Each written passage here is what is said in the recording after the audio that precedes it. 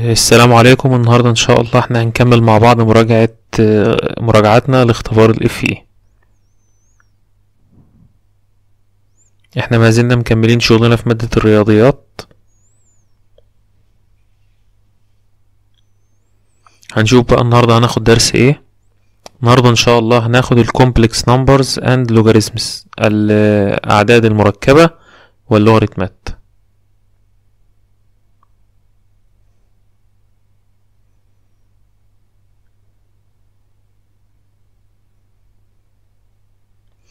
أول حاجة تعريف الأعداد المركبة. الأعداد المركبة بتتعرف زي ما حضرتك شايف بالبرواز اللي لونه أزرق ده فوق يعني متاخد من ال reference book زي ما هو. تعريف الأعداد المركبة بالمعادلة اللي هي عبارة عن z تساوي a زائد j في b. تمام؟ ال j دون اللي هو كان ال i يعني أغلبنا حتى في الكلية في المدرسة كان بيرمزوا له الحرف ال i مش بحرف ال j. تمام؟ حيث ال a اللي في المعادلة ده بيمثل الجزء الحقيقي من العدد المركب. بينما الجزء b بيمثل الجزء التخيلي. تمام كده؟ طيب وال j أو ال i زي ما كنا بناخده زمان في الكلية هو عبارة عن جذر ناقص واحد. جذر سالب واحد. ساعات كنا بنسميه قبل كده الاي اللي هو الجي سمول دون اللي انت متعود عليه اللي هو اي سمول تعال نشوف اللي بعدها. الشكل اللي قدامنا في عندك محورين. في محور أفقي ده بيمثل قيمة العنصر الحقيقي. المحور الرأسي بيمثل قيمة العنصر التخيلي. العنصر التخيلي اللي هو حرف ال b اللي هو بيبقى جنب حرف اللي جنب ال j تمام؟ يعني انت عندك رقم لوحده ده ال a ورقم جنب ال j أو جنب ال i ده اللي هو مين؟ ال b تمام. يبقى قدامك على الرسمة أهي المحاور الأفقي والرأسي الجزء الحقيقي على المحور الأفقي والجزء التخيلي على المحور الرأسي. تمام. التعبير عن الأعداد المركبة في صورتين للتعبير عنهم يا إما زي ما حضرتك شايف الطريقة الأولانية اللي هي الطريقة عبارة عن إيه؟ عبارة عن محور أفقي ومحور رأسي. وبمثل فيها قيمة العنصر الحقيقي على محور أفقي وقيمة العنصر التخيلي على المحور الرأسي. الطريقة التانية اسمها الطريقة polar أو القطبية. القطبية دي معناها إيه؟ معناها إن أنا عاوز نص قطر اللي هو حرف ال R small اللي موجود على الرسمة اللي قدامك ومعاه زاوية مقدارها ثيتا يبقى أنا عشان أعرف العدد المركب يا إما أخد له إحداثيات على المحور الأفقي وإحداثي على المحور الرأسي أدي طريقة اللي هي الأولانية. الطريقة التانية اللي هي طريقة الإيه؟ التمثيل القطبي. القطب ده يعني محتاج نص قطر وزاوية. بس كده. تمام؟ بالنسبة لل polar form إيه معادلتها زي ما هي موجودة قدامك اهي. X زائد J Y تساوي R افتح قوس.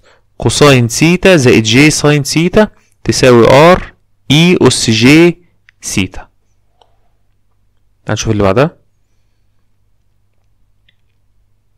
هنا عايزين نعمل بقى العمليات على الأعداد المركبة. ال complex دي عايزين نعمل لها عمليات إيه؟ جمع والطرح والضرب والقسمة وهكذا. دي اسمها العمليات. أول حاجة جمع عددين مركبين. العددين المركبين دول بيتم جمعهم إزاي؟ بجمعهم بكل بساطة. الجزء الحقيقي مع الحقيقي والجزء التخيلي مع التخيلي. بيفكرك بإيه الكلام ده؟ بيفكرك بجمع المتجهات لو أنت فاكر. طيب آه بالنسبة للضرب بتاع عددين تخيليين. المعادلة التانية اهي. تعال نشوف كده الضرب ده. هنقوم قايلين A في السي ناقص ال B في ال D زائد ال J ال J ده اللي هو العدد التخيلي. افتح قوس. A D زائد B C تمام. ده كده الضرب. طيب في حالة خاصة من حالات ضرب عددين مركبين. إيه هما الحالة الخاصة دي؟ إن يكون عندك عدد واحد عدد الأولاني اسمه Z واحد. افتح قوس A واحد زائد جي في بي واحد. ويكون هيتضرب في رقم شبهه بالظبط بس الفرق فين؟ في الإشارة اللي بين الاتنين. هنا نفس الرقمين متساويين العددين هما هما الاختلاف في الإشارة اللي بينهم. في الحالة دي هيكون حاصل الضرب هو جمع مربع الجزء الحقيقي زائد مربع الجزء التخيلي. زي ما هي موجودة عندك اهي. طبعا الكلام ده كله موجود في ال reference book بنكرر تعال نشوف اللي بعدها.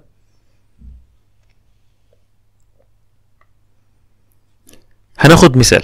عايزين هنا نحل مثال سهل جدا. بيقول لك عايزك تجمع العددين المركبين اللي قدامك. تمام؟ العدد الأولاني أربعة زائد i سبعة.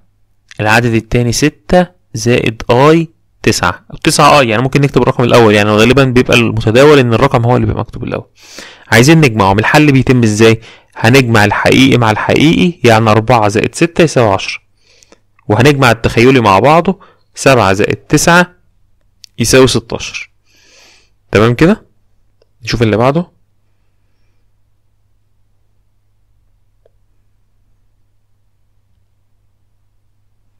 عندنا مثال تاني. في عدد اسمه زد واحد وعدد تاني اسمه زد اتنين. عايزين نوجد حاصل ضربهم. تمام. عشان أجيب حاصل ضربهم أول حاجة هعمل إيه؟ هوزع. تعالى كده نشوف هنوزع إزاي. هيبقى عندك زد واحد زد اتنين. كتبت أول واحد أهو وكتبت التاني. هوزع. هقوم قايل تلاتة في واحد. وبعدين خمسة في واحد. آه. وبعدين تلاتة في خمسة اللي هي سالب خمستاشر. تمام. تلاتة في سالب خمسة يعني سالب خمستاشر. وبعد كده عندك الخمسة اهي اللي هي واحد في خمسة آي. وبعد كده خمسة في سالب خمسة بسالب خمسة وعشرين وآي في آي بآي تربيع تمام. هتساوي أقوم جامع الأرقام لوحدها واللي فيهم الآيات لوحدهم تمام. يبقى أول حاجة بالنسبة لحاصل ضرب العددين إن أنا وزعتهم كأنه ضرب قوسين بالظبط. تمام؟ طلعت لي معايا. تعال نشوف بقى اسمة عددين يعني زد واحد على زد اتنين. هنعمل عملية تانية على الايه؟ على نفس الرقمين. تعال نشوف بقى القسمه بتاعتنا. أول حاجة بالنسبة للقسمه أنا كتبت المقدار اللي هو طالبه. 3 زائد 5 آي أدي زد واحد أهو على واحد ناقص 5 آي. كده أنا قسمت العددين أهو. هضرب تحت وفوق. في مين بقى؟ واحد زائد خمسة آي. اشمعنى الرقم ده؟ لسه أنا في الصفحة اللي قبلها قايل لك إيه؟ قايل لك لما يكون العدد هو هو نفس العدد مضروبين في بعض. الفرق بينهم الإشارة يعني مرة موجب ومرة سالب. أنا ده اللي أنا عملته. إن أنا كان عندي واحد سالب خمسة آي. رحت ضربه في مين؟ في الموجب بتاعه اللي هو واحد زائد خمسة آي. وعشان ما يحصلش أي تغيير في القيمة عملت إيه؟ اللي أنا ضربت فيه في المقام تحت هنا رحت مطلعه تاني هو هو فين؟ في البسط. وبعد كده اختصرتها. نفس اللي عملناه فوق هنعمله كده. هنضرب ونوزع نفس الكلام. طلع لك الحل سالب اتنين وعشرين. زائد عشرين آي على ستة وعشرين. تمام؟ تعال نشوف اللي بعده.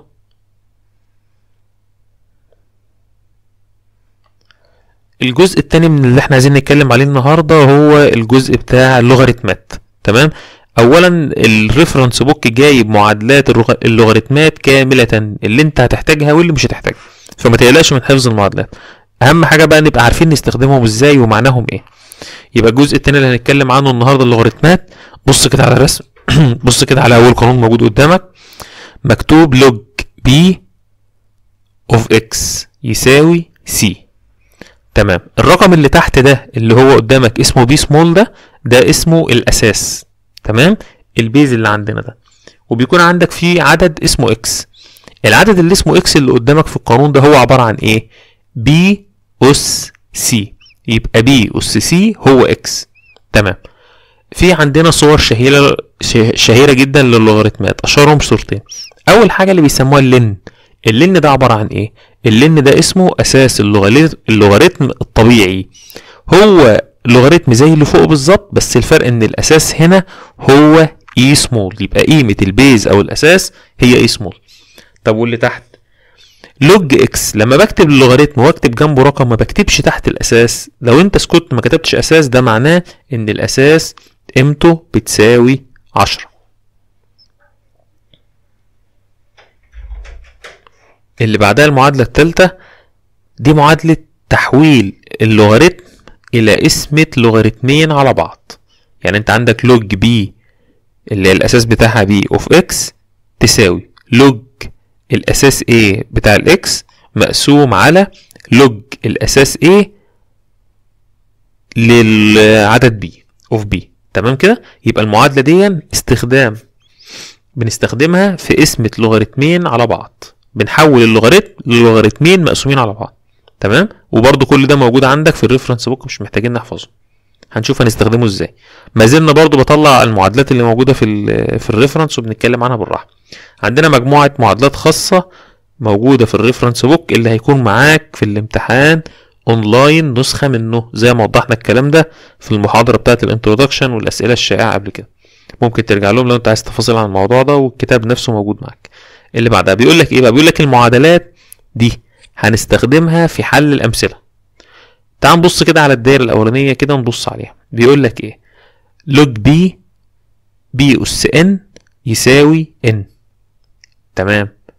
في اللي بعدها log X أس C يساوي C log X تمام. المعادلات دي إحنا هنستخدمها في حل الأمثلة. لو انت عايز حاصل ضرب لوغاريتمين اللي هو اسمه إيه بقى؟ رقمين مضروبين في بعض اللي هو X Y. يبقى اللوغاريتم log x y ده الضرب معناها جمع. يعني أقدر أقول إن هي log الأولاني اللي هو log x زائد log التاني اللي هو log y. تمام. من ضمن الحاجات برضو log واحد بكام؟ log واحد بصفر. طب بالنسبة لل log القسمة زي ما كان log حاصل الضرب هو جمع هيبقى log القسمة هو طرح. يبقى log x على y عبارة عن log x ناقص لوغاريتم y. تمام كده؟ تعال نشوف اللي بعده. عايزين نطبق عليها كده.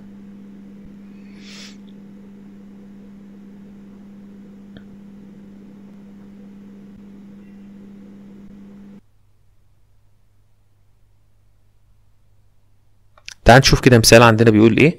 بيقول لك إيه هي القيمة بتاعة لوغاريتم؟ أساس عشرة of ألف. عايزين القيمة بتاعة اللوغاريتم ده. هيبقى عندك اللوغاريتم عشرة ألف. إحنا هنفترض إن القيمة بتاعته كده بسي حسب القانون اللي كان موجود عندك في ال reference book واللي إحنا اشرنا عليه من شوية الصورة دي بتقول لك إن العشرة أس سي تساوي الرقم. الرقم اللي هو الألف. يبقى عشرة أس سي تساوي ألف. يبقى السي تساوي كام؟ يبقى السي تساوي تلاتة. عشرة في عشرة في عشرة اللي هي عشرة أس تلاتة تساوي ألف. تمام. اللي بعده؟ مثال تاني بيقول لك إيه؟ بيقول لك لو أنت عندك لوغاريتم الأساس عشرة of خمسة يساوي point ستة تسعة تسعة zero وفي لوغاريتم تاني عند لوغاريتم الأساس برضو عشرة of إيه of تسعة يساوي point تسعة خمسة اربعة اتنين. عندك في لوغاريتم أو لوغاريتم تاني. هو عايز إيه بقى؟ بيقول لك لو أنت عرفت الأرقام دي استنتج ال value القيمة بتاعة اللوغاريتم اللي أساسه خمسة of تسعة. مثال تاني المثال ده نص الحل بتاعه أو أكتر إنك تعرف أنهي قانون هنستخدمه من ال reference book القانون اللي إحنا هنستخدمه موجود قدامك أهو. تمام؟ اللي هو اللي قلنا عليه إيه؟ إن إحنا بنقسم بناخد log b x تساوي log الأساس A of x على log A الأساس A of B. تمام كده؟ يبقى ده القانون اللي أنا هستعمله. تعال نعوض بقى. هنا التعويض. أول حاجة القانون اللي قدامك ال b small بخمسة وال x بتسعة والاي سمول بعشرة جميل. يبقى في الحالة دي بقى log خمسة تسعة اللي هو عايزها دي عبارة عن كام؟ أعوض في القانون اللي فوق بالظبط. يبقى log الأساس عشرة of تسعة على log الأساس عشرة of خمسة هتساوي وأروح معوض بالأرقام اللي موجودة قدامي يطلع الحل واحد صحيح و point تلاتة ستة خمسة. تمام كده؟ إحنا كده خدنا النهارده القوانين الأساسية وفكرنا الناس بيهم. إحنا طبعا في الاف اي إحنا بنعمل مراجعات وليست شرح كامل. لأن الحاجات دي المفروض إحنا درسناها في الكلية إحنا بنفتكرها ومش مطلوب مننا حفظ المعادلات. إحنا بنفتكر بس المواضيع وازاي نستخدمها. تمام؟ آه النهارده نكون نكون غطينا لحد ما الموضوعين اللي كنا عايزين نتكلم فيهم النهارده. تمام؟ آه عشان بقى يعني اللي بعد كده يعني عشان نتمرن أكتر أنا عايزك تحل على كل جزء إحنا حليناه مثلا عليه مثال أو اتنين ترجع تحل منه مجموعة كبيرة. ترجع تحل الأمثلة المحلولة اللي موجودة في الفيديو اللي اسمه ماس سولفد هتلاقيه موجود عندك على القناة اللي هو الفيديو اللي ما كانش فيه صوت يعني. طيب عشان يوصل لك الفيديو الجديد إن شاء الله ما تنساش تشترك في القناه على يوتيوب لو أنت ما كنتش لسه اشتركت. ما تنساش تشارك أصحابك اللي بيحضروا لاختبار ال FE الفيديوهات وتعرفهم كمان إيه group المراجعة اللي إحنا بنراجع فيه على الفيسبوك مع بعض. أي فيديو حضرتك بتشوفه مجرد ما بتضغط عليه like بيتخزن عندك في القائمة بتاعة الفيديوهات ال liked وقت ما أنت بتبقى عايز تراجعهم في أي وقت بتجيب ال liked videos بيقوموا طالعين لك كلهم ورا بعض. لو أنت مش حابب انك آه، يعني عايز تجيبهم في أي وقت وأنت قاعد يعني.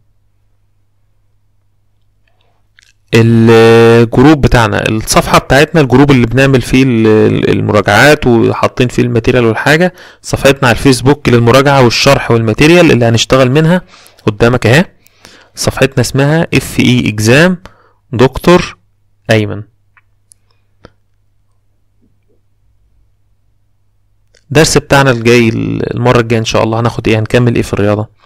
إن شاء الله المرة الجاية هنتكلم عن إيه برضو إحنا لسه في ال math لسه مكملين في ال math. هناخد فيها المصفوفات وهناخد فيها المحددات. ال- الناس اللي لسه ما اشتركتش في القناة اضغط اشتراك أو subscribe. بكل بساطة تحت الفيديو اللي حضرتك بتتفرج عليه الوقت ده. هتلاقي تحت فيه اشتراك أو subscribe اضغط عليه. بس كده هيوصل لك بقى الفيديوهات القديمة والفيديوهات اللي لسه هتنزل وهكذا تبقى متابع معانا إن شاء الله. أتمنى النهارده إن إحنا نكون قلنا بسرعة كده وفي عجالة الحاجات ال- المطلوبة في الدرسين بتوع الرياضة اللي اتكلمنا عنهم. آه، وأتمنى لكم إن شاء الله استفادة وتكونوا قضيتوا وقت ممتع معنا. شكرا والسلام عليكم ورحمة الله وبركاته.